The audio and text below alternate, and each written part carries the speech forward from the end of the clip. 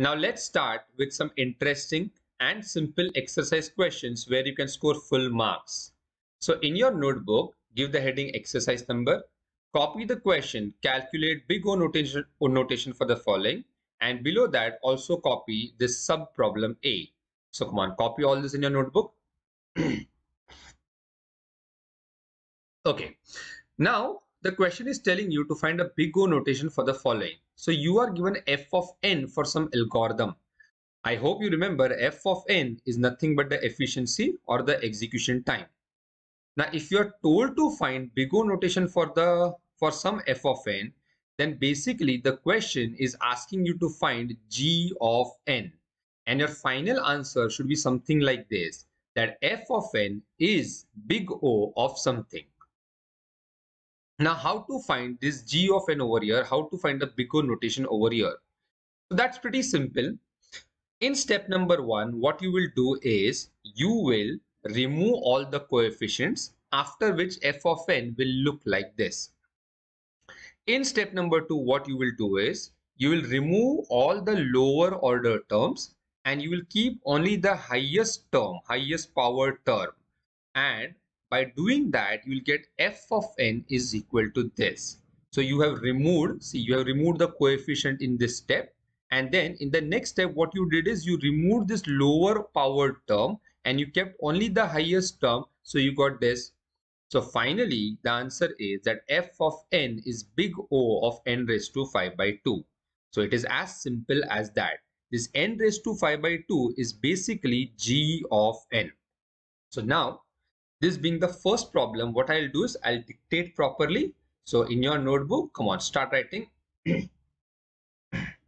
Give the writing solution and then start writing. Come on, write. Step number one. Removing all the coefficients, we have the following. Now copy this. Step number two. By the way, you can pause the video in between if you're writing. Step number two discarding the lower ordered terms and keeping only the highest term, we have the following. Now copy this. And then you finally write, therefore f of n is big O of n raised to 5 by 2. So if this problem comes in exam, these are the steps which you should write. Alright, now let's go to the next problem B. Now over here, copy the question after copying the question, don't write any steps. Just write the final answer that f of n is big O of something. Come on, do that. I'll wait.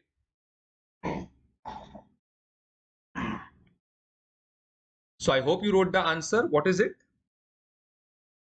Is it f of n is big O of log n or n raised to 4? Well, many of you must have done a mistake over here. Many of you must have written that f of n is big O of log n whereas in reality it is big O of n raised to 4. This is the correct answer. Now let me tell you, uh, let me explain you why you did a mistake over here and also let me tell you how to be, how not to do such mistakes in future. See guys, what happened is over here in the first problem there was no confusion at all because because uh, both the terms this one and this one okay they were basically uh, uh, they had basically powers. So this was n raised to 5 by 2 and this was n raised to 2 by 5. So what you did is you discarded the lower power, you kept the highest power and you got the answer. So this was pretty simple. But over here the problem is that one term is log n and another term is n raised to 4. So many of you must have got confused over here and many of you must have written the wrong answer that is n raised to 4. Sorry, many of you must have written the wrong answer that is log of n. Now, how to avoid such mistakes in exams? So for that, this table is going to help you. I had told you this table is very important. You need to buy hard this table. In this table, these efficiencies are listed in decreasing order of efficiency. That means logarithmic is the most efficient. It takes least time and factorial is the uh, least efficient. That means it takes maximum time. I repeat, most efficient, least time, least efficient, maximum time. now tell me one thing, this, this, this is which uh, efficiency, this one? So this is logarithmic. All right, look at the arrow, look at this pointer, mouse pointer. And this n raised to 4 is which efficiency? This n raised to 4 is polynomial. Over here, k is equal to 4. So now over here, polynomial comes below logarithmic. So that means that polynomial takes, polynomial takes more time than logarithmic. So what you should do is that in the big O notation, now listen to me carefully. In the big O notation, you should retain that term which takes maximum time. Why? Because big O notation always gives you the maximum time taken by the algorithm. So you should not keep log n over here. You should keep n raised to 4 because that takes more time than log n. Okay. So guys, if you want, what you can do is you can just write a note over here and the note should be something like this. That uh, that term which comes uh, uh, uh, that uh, note should be something like this that in the table in the table if one term comes below another then take that term which comes below the first term okay i'm not able to frame it properly but i hope you understood what i'm trying to say. What i'm trying to say is that if polynomial comes below logarithmic then you should take polynomial over here that is n raised to 4 okay so write it in your own words. I hope you understood what i'm trying to say. Okay now let's take the next problem and i'm sure you will not do a mistake over here. Come on first tell me and then you can copy. What is the answer over here? F of n is big o of n log n because n log n linear logarithmic comes below linear okay so now copy all this copy all this you don't need to copy this table it's there in your printed notes Okay, so I hope you copied entire exercise number one. Now let's move on to exercise number, uh, sorry, let's uh, now study one general concept over here and then we'll move to the next exercise. now quite interesting and weird, listen to this carefully. Now in this subject, many a times you'll come across something like log of n to the base 10 and sometimes you'll come across log of n to the base 2. Now what happens is sometimes, sometimes when we write answers, in my answer, you will see that the efficiency is big O of log of n to the base 2. While your teacher, while your teacher, your college teacher may say that the efficiency is big O of log of n to the base 10. So uh, the difference in my answer and your teacher's answer could be in the base, in the base. So your teacher may say that it is uh, log of n to the base 10. I may say that it is log of n to the base 2. Now, can you tell me who is correct over here? me or your teacher? The answer is both are correct. In this subject, log of n to the base 2 is considered equal to log of n to the base 10. Now answer one question, are these two terms mathematically equal? No, they are not mathematically equal. Then how come they are considered equal in this subject in analysis of algorithm? So as I told you, this subject is quite weird. Listen to me carefully and whatever i'm explaining you now you will write a note about it in your own words listen to me carefully see now mathematically i repeat mathematically log of n to the base 2 is equal to log of n to the base 10 upon log of 2 to the base 10 okay this is the mathematical property now log of 2 to the base 10 is 0.3 so finally i can say log of n to the base 2 is equal to 3.333 log of n to the base 10. So this is the mathematical relationship between base 2 and base 10. Now, I hope you know, I hope you remember that whenever you are taking the big O notation, whenever you are taking the big O notation, you remove the coefficient anyways. So what happens is that when you take the big O notation, you will remove this 3.33. And if you're removing this 3, then this and this becomes equal. So that is why sometimes in my answers I will say that this algorithm is big O of log n to the base 10 while your teacher may say it is big O of log n to the base 2 or maybe vice versa and both of us are correct. So guys, whatever I explained you just now, write a note about it in your own words. Come on, do that. All right. Now let's move on to exercise number two, which is quite interesting. So exercise number two says, calculate the runtime complexity of the following segment and this is the segment. So first of all, copy all this in your notebook, copy everything. Okay, now let's start with the answer. First of all, tell me this segment which you see over here, it is in C language or C++ or Java? Well, it is not in any programming language. This is a pseudocode. Pseudocode means it is similar to a programming language, not a programming language. And for your convenience, I will show you one thing. This code is actually same as this one. Okay. So basically this is in C language and this is pseudocode, but they are logically same. So what you can do is in your notebook at the side somewhere you can write that this is similar to this. Okay this is not a part of your solution. You are writing this only for your own understanding. So if you want you write this. All right.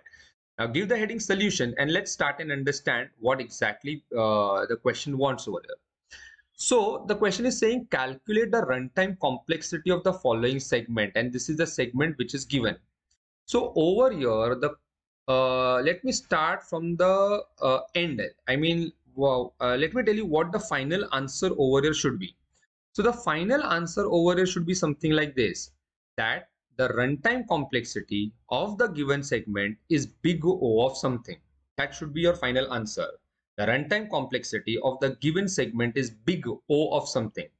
That means over here, you are supposed to find the big O notation of this segment. Okay. So if the question is asking you to find runtime complexity, basically you are supposed to find a big O notation. Now to find the big O notation, you need G of n. Okay, think backwards. I repeat, to find the big O notation, you need G of n. And for G of n, you need F of n. So our first step will be to find F of n. So now the question is how to find F of n. So I think I've explained you and one more time I'll tell you very, very, very important if you want to find f of n, if you want to find execution time, then it can be done in two steps. Step number one, decide who the hell is the critical operation. Step number two, count how many times the critical operations execute in terms of n. So guys, if you want, what you can do is at the top of your notebook, okay, I mean the empty space of the page at the top, over there you can write this golden rule to find f of n, use two steps. Step number one, decide who is the critical operation. Step number two, count how many times the critical operations execute. If you want, pause the video and write this golden rule, these two steps.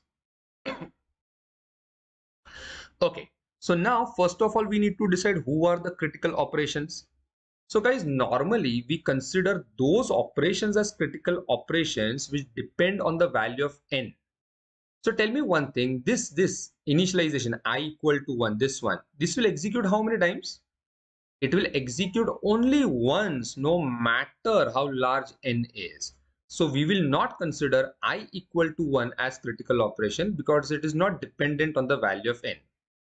Okay, tell me this print will execute how many times?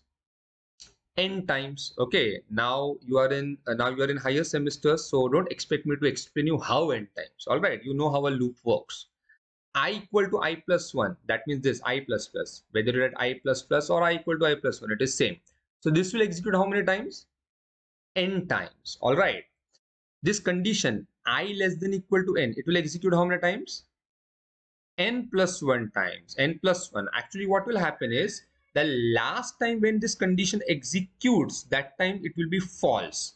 And that time these two will not execute. That that's why these two will execute n times whereas the condition will execute n plus 1 times. Anyway the point i'm trying to make is that these three operations these three operations are dependent on the value of n and we'll consider them as critical operations. So now how to find f of n? Very simple. Just add just add the number of times they execute. So print i will execute n times okay? Just all right now i'll write everything. Just a minute. Okay so what i was saying is that let me just change it to red color. Okay so what i was saying is that this print i it will execute n times all right i equal to i plus 1 will execute n times and i less than equal to n will execute n plus 1 times but there's something which i want to uh, want you to understand over here See, I hope you remember that in analysis of algorithms, we consider n to be very large, insanely large. Okay, 1 crore, 10 crore, something like that. Now, if n is very large, please listen to me carefully. Okay, if n is very large, then n is approximately equal to n plus 1, n plus 1. Okay. Uh, now, if you want to understand this, I always give one interesting example to my students let's say let's say i take a loan of let's say i take a loan of uh, uh, let's say not very large let's say i take a loan of 1 lakh rupees from you okay let's say i take a loan of 1 lakh rupees from you okay 1 lakh is actually not very large but let's say 1 lakh now uh, let's say i promised you that i will give you this 1 lakh in let's say one month's time now, let's say one month, two months, three months, let's say six months have passed away. Six months have passed away and I'm not willing to give you your loan. Okay. Finally, one fine day, one fine day, uh, I give you 99,999. All right. That means I give you one rupee less for some damn reason. Let's not talk about the reason. Now, I have a question for you. I have a question for you will you be very happy that you got this amount back or will you be disappointed that you got one rupee less obviously you will be very happy you will be very happy that you got your money back although one rupee less but you still got your money back now why you are happy over here why you are not disappointed over here the answer is very simple you are happy because because when you compare 1 lakh with 1 rupee then that 1 rupee is negligible. Why? Because 1 lakh is a very large amount. The same concept is applicable over here. If n is very large, then n can be considered almost equal to n plus 1. So now what I'm trying to teach you is that instead of saying that this critical operation, instead of saying that this critical operation executes, executes n plus 1 times, what you can say is that this critical operation executes n times all right so finally finally i will say that f of n is equal to n plus n plus n. So f of n is equal to 3n and if f of n is equal to 3n then the efficiency is big o of come on you did it just now in exercise number one. It is big o of n. You remove the coefficient. You remove this you remove this coefficient 3 okay just a second. You remove this coefficient you remove this coefficient 3 so it will become big O of n so this is your final answer efficiency or runtime complexity is big O of n now before we proceed further uh, we need to discuss one thing now what is that one thing now what if your teacher says listen to this what if your teacher says that i equal to 1 should also be taken as critical operation. What if your teacher says, college teacher says that i equal to 1 should also be taken as critical operation. Is your college teacher correct or incorrect? Well, your college teacher is correct. And even I am correct if I don't take it as critical operation. Now, how come both of us are correct? So I have been always telling you that this subject is weird. Okay, it is ambiguous. Okay, and everybody is correct in this subject provided you follow the right technique, the right method. See, what happens is, re, uh, recollect the definition of critical operation. How do you define a critical operation? So it's like this. A critical operation is any operation which takes significant amount of time.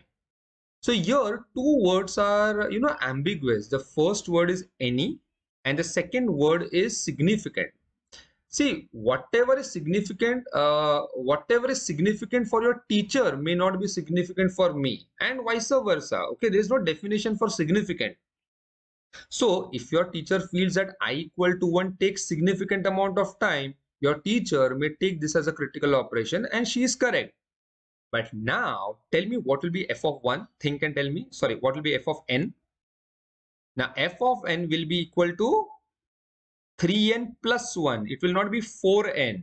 Why? Because this operation will execute only once. Okay, now tell me what will be the runtime complexity? It will be big O of? It will be still big O of n and that is the beauty of this subject. Why big O of n? Because the coefficient 1, the coefficient 3 will get removed Okay, so you will still have only n.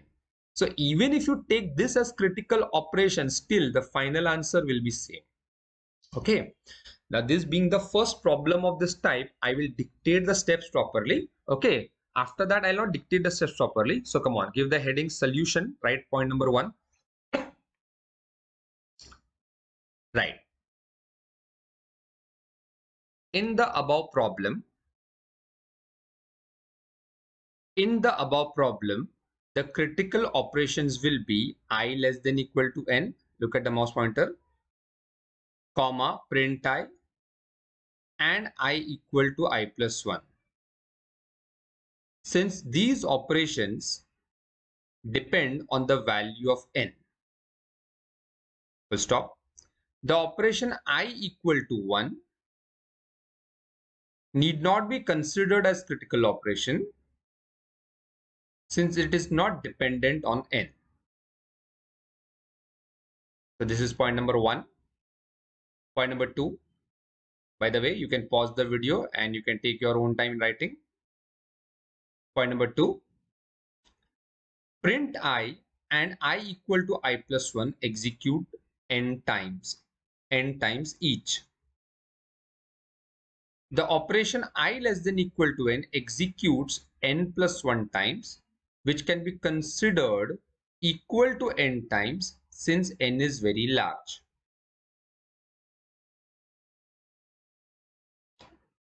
Point number three, considering all this, we have the following.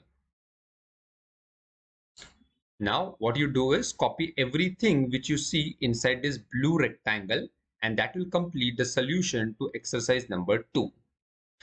Now, after doing that, what you can do is in your own words, you can also write a note about this that what if your teacher says that i is equal to 1.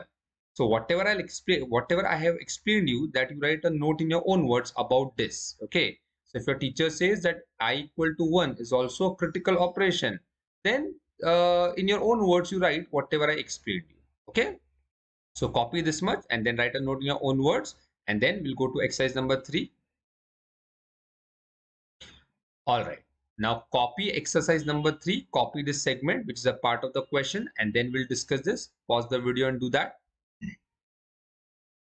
All right. So it says calculate the runtime complexity of the following segment if algorithm ABC itself has a complexity of 5n. So you must have realized that when compared with the previous problem over here, instead of print, we have something called ABC. Now I uh, I hope you have also realized that this segment is basically similar to this. All right, they are same. So if you want, you can also write uh, for your own reference that this pseudo code is similar to this. All right, now give the heading solution. okay, now the first thing which will come to your mind is what exactly this ABC is. So this ABC is basically a function and over here this is a function call. So we assume, we assume that, just a minute. So guys, we assume that there is a function called ABC, okay? And inside function ABC, obviously there are many statements, there are many statements. And over here, over here, what you see is the function call to ABC, okay? So this thing is a function called to ABC, which we have given instead of the print. Okay, so now can you tell me over here who will be the critical operations? Simple, the critical operations will be i less than equal to n. The critical operations will be i less than equal to n. Then this function call to ABC and i is equal to i plus 1. Come on. Now we'll have something like this f of n will be equal to something plus something plus something. All right and over whatever is going to come it will be because of these critical operations now can you tell me i less than equal to n will execute how many times so it will execute actually n plus 1 times but we consider it same as n equal to n because n is very large. So because of i less than equal to n over here we will write n times okay? Now can you tell me i equal to i plus 1 will execute how many times? Obviously n times. This also n times. Now comes this abc now listen to me very carefully. Many students do a silly mistake over here Now look at this question. I hope you can see this small dot, small pointer. This is my mouse pointer now. Okay. Look about the arrow over here. Okay. So now what it says, it says calculate the runtime complexity of the following segment if, if algorithm ABC itself has a complexity of 5n. So now if you really understood the question, can you tell me what am I going to write over here? Or in other words, uh, let me ask you some other question. Okay, I'll ask you a different question can you tell me this this this statement this thing this function call abc will execute how many times? Well this function call to abc i am talking about this thing. The function call to abc will also execute n times. See please understand one thing very simple. This function call to abc this function call to abc is given as a part of the for loop so if it is given as a part of the for loop, it will also execute n times. So now the next question in your mind could be, if it will also execute n times, then what is this 5n? So please listen to me carefully. This 5n is the internal complexity of the function ABC. I'm sure many of you did not understand, so I'll explain it in this way. See, this is the function ABC. Now let's say these are these are the critical operations. Let's say these are the critical operations inside ABC. Let's say these critical operations are inside a for loop for i equal to 1, i less than equal to 5n, i less than equal to 5n and i plus plus. Okay, I start the loop here and I end the loop here. Now answer a very simple question that these critical operations will execute how many times? So they will execute 5n times. So 5n is the internal complexity of only function ABC. Okay. Now we are supposed to find the complexity of this entire segment. So for that we took n because of this critical operation. We took n because of this critical operation. If you are really attentive, can you tell me what will I write over here to complete our solution?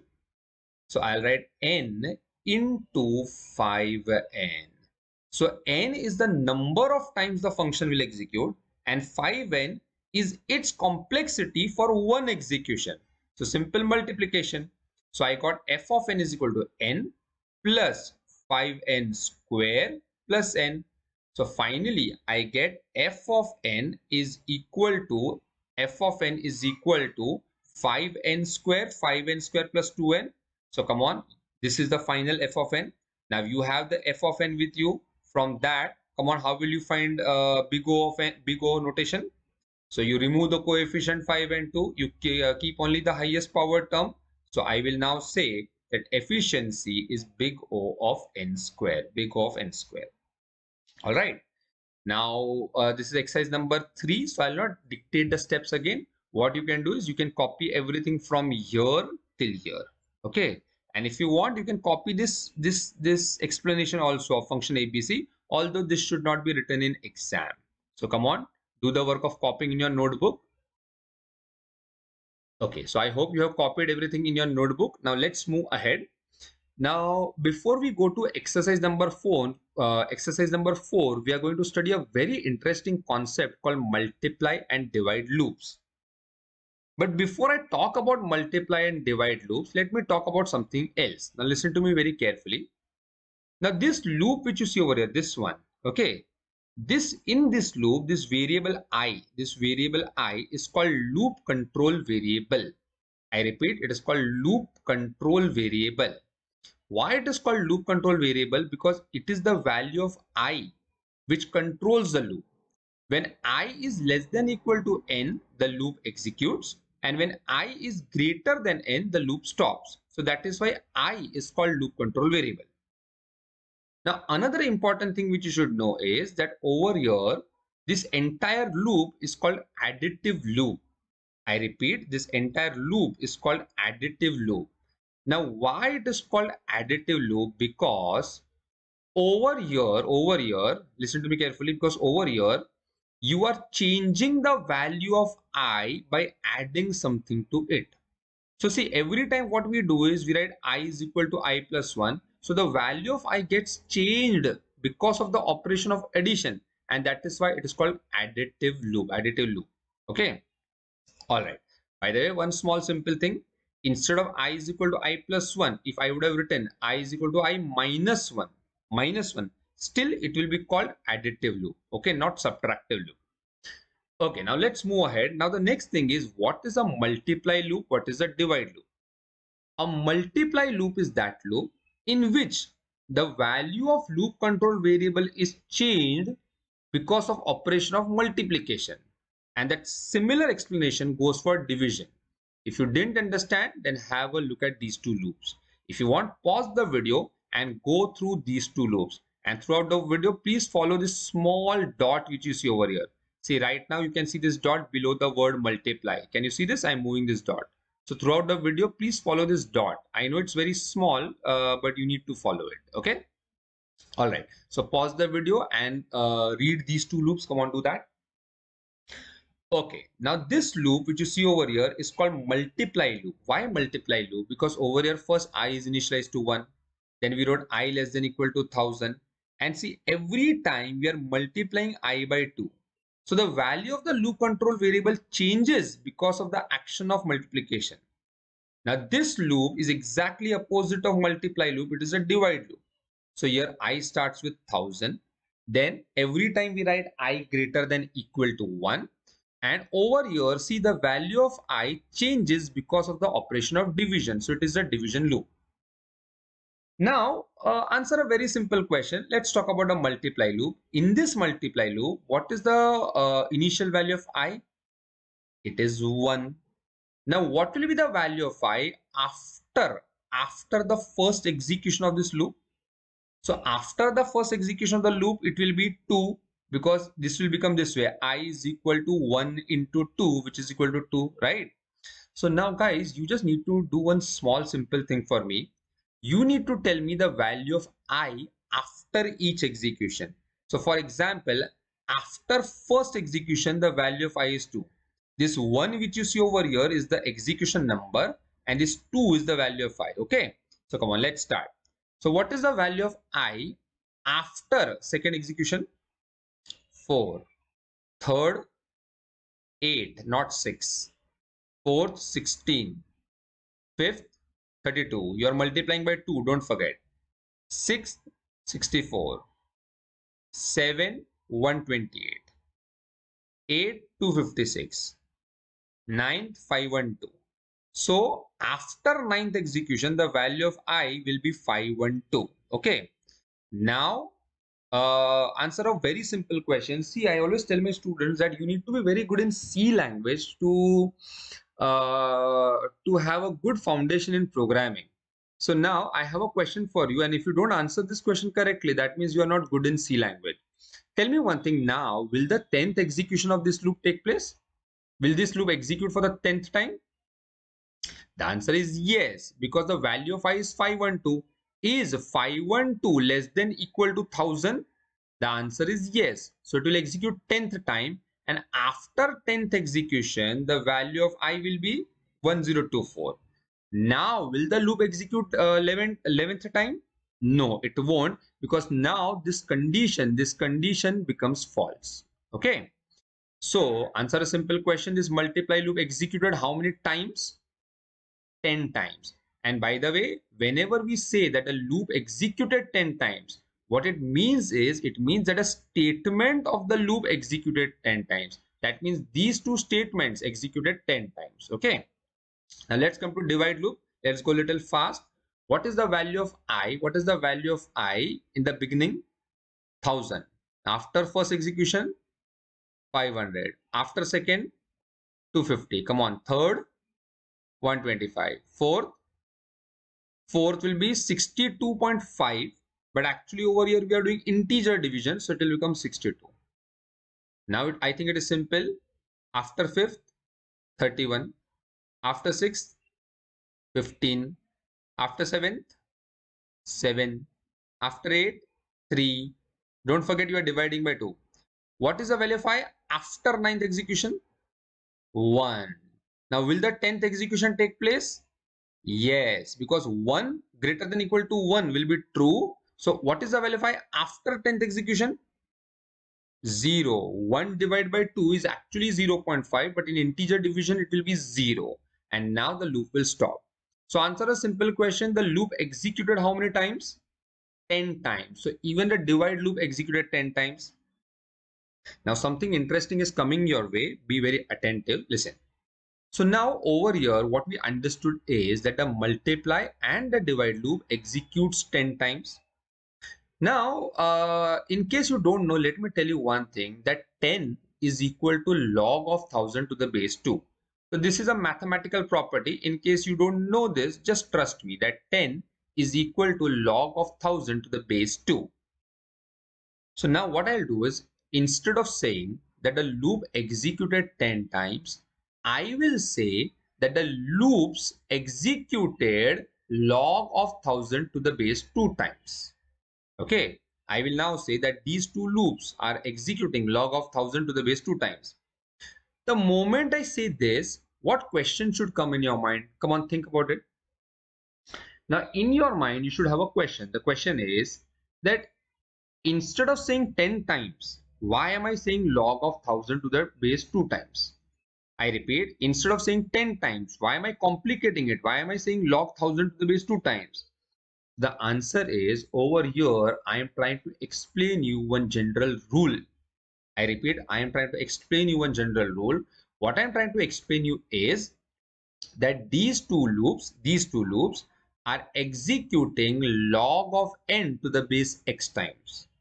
I repeat, the multiply and divide loops are executing log of n to the base x times, where n, n is this thousand. See carefully, n is this thousand. And what is this x? Okay, this x over here is 2, 2 so this x over here is the multiplier, see multiplier or the divisor. So now we have a general rule and please remember this rule otherwise you will do mistake in the future problems. The rule is that every multiply and divide loop will execute log of n to the base x times where n is the number of elements and x is the multiplier or divisor. Okay. So now give this heading multiply and divide loops. Copy this rectangle see this one. Copy this one.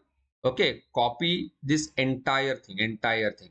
So see give this heading and see where my mouse pointer moves. Copy everything which i'm encircling. See from here to here everything this all entire thing you should copy in your notebook come on do that okay so i hope you have copied now below that you write something i'll dictate come on right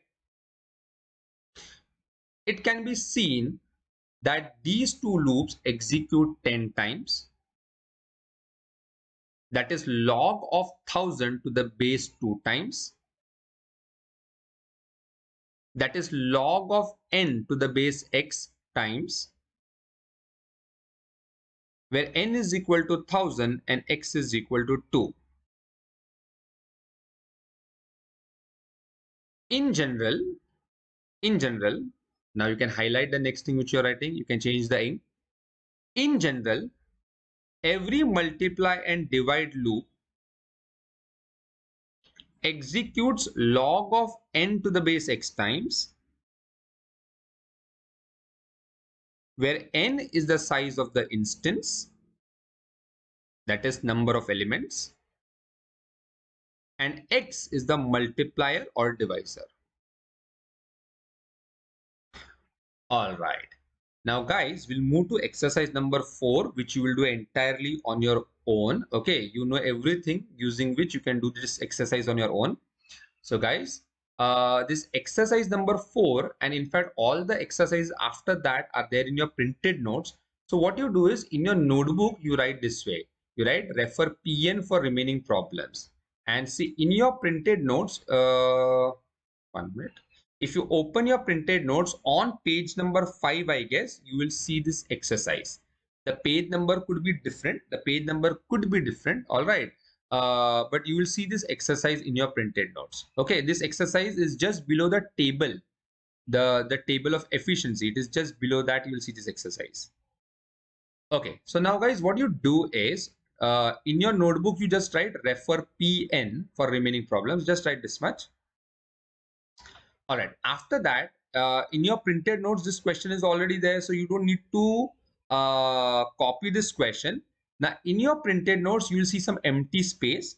Now in that empty space, I want you to write the solution for this particular problem. So pause the video and write the solution and I'm waiting for you. Come on, do that. All right, now let's start with the final answer. I'm sure many of you, many of you did a mistake over here. Now tell me what is the final answer over here? The efficiency is big O of what? Now, did you write n cube? Well, if you wrote n cube, you are wrong. And this is a mistake which many, many, many students do. The final answer is this. The complexity is big of n square log n to the base 2.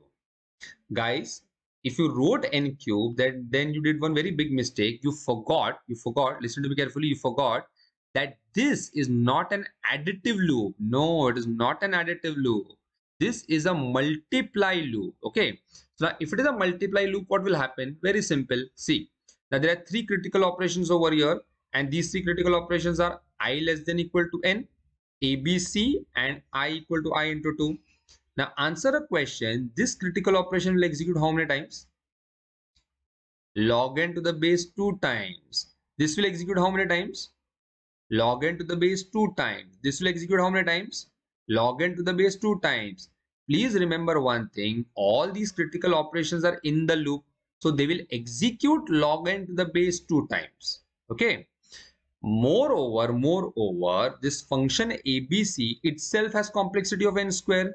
So now you know what to do. So f of n will be log n to the base 2 plus log n to the base 2 plus log n to the base 2 into n square. That's it. It's almost over. Okay. Now f of n will be equal to n square log n to the base 2 plus 2 log n to the base 2. Now over here, remove the coefficient. So this coefficient 2 goes away and keep the highest power term. So it will be n square log n to the base 2 and that way you get this answer all right so copy this solution and that will be the end of exercise number four